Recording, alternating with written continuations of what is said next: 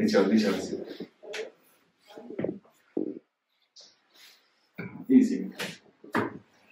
So down it. Breathe out slowly. Easy.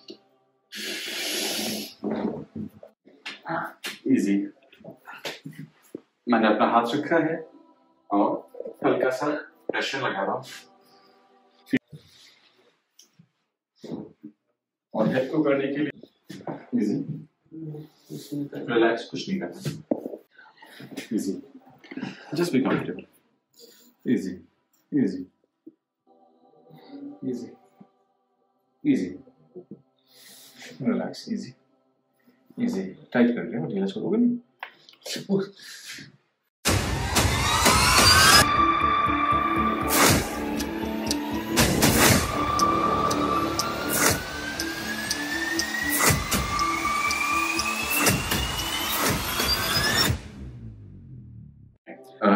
एंकुलाजिंग spondylitis एक genetic problem है, जहाँ पे आपके ब्लड के अंदर एंटीजेंस बनना चालू हो जाते हैं और आपकी जॉइंट स्पेसेस मसल टिश्यूज को ऑल्टर करना चालू करते हैं।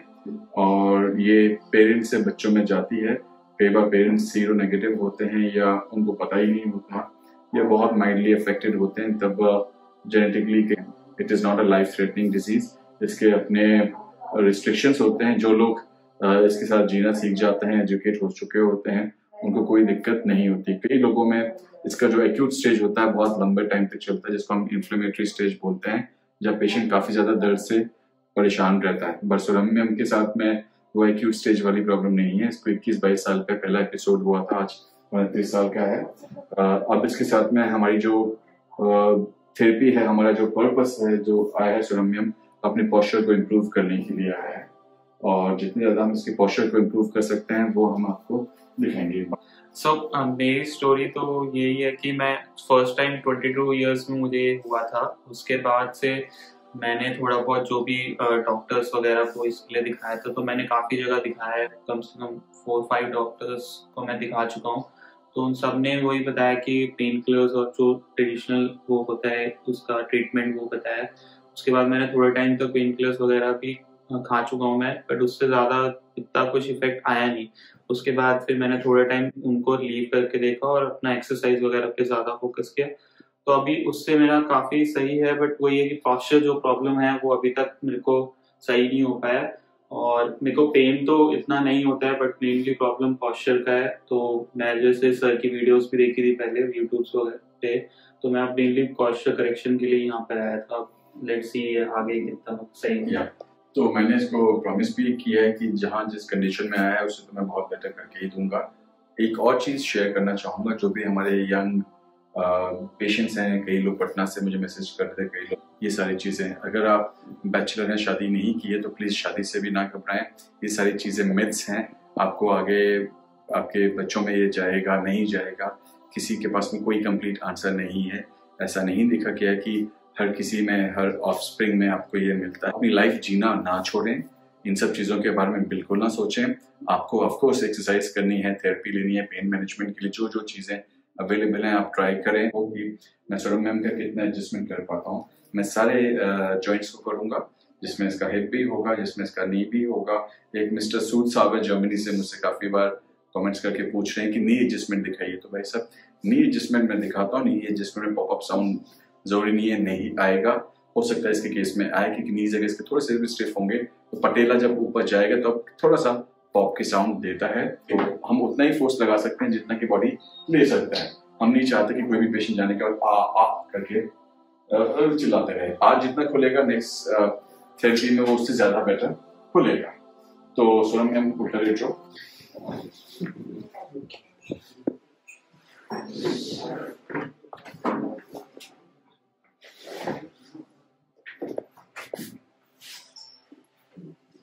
और ये जॉइंट को ओपन करने में भी पता चलता है। मुझे इस रेजोनेंस साउंड से काफ़ी कुछ महसूस होने लग जाता है कि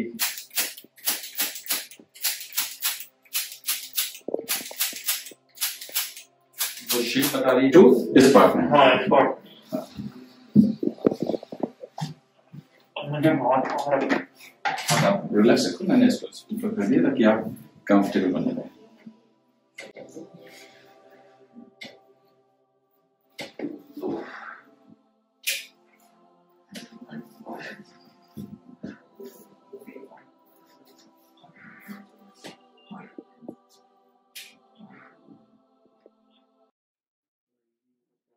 नीचे और नीचे नीचे इजी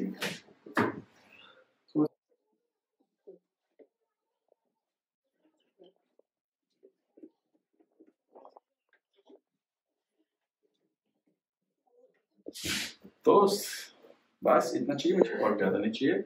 इसको यहाँ रख लो गर्दन नीचे रखो। कोई बात नहीं, कोई बात नहीं। जो है उसी में काम करना है ना हमें। विदाउट शोल्डर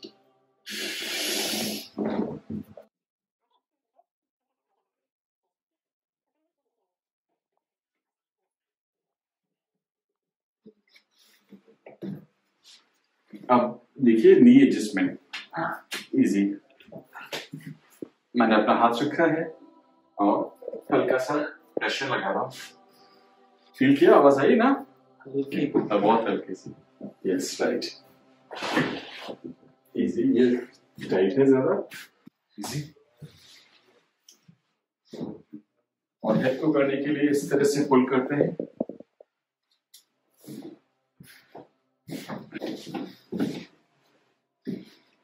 इजी बेंड करो।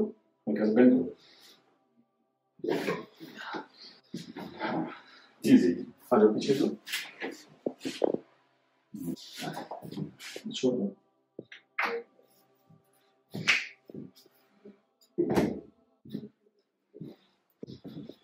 इजी रिलैक्स कुछ नहीं करना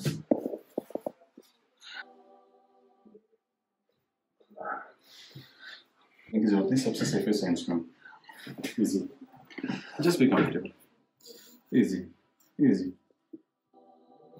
easy easy relax easy easy tight कर लिया। ढीला छोड़ोगे नहीं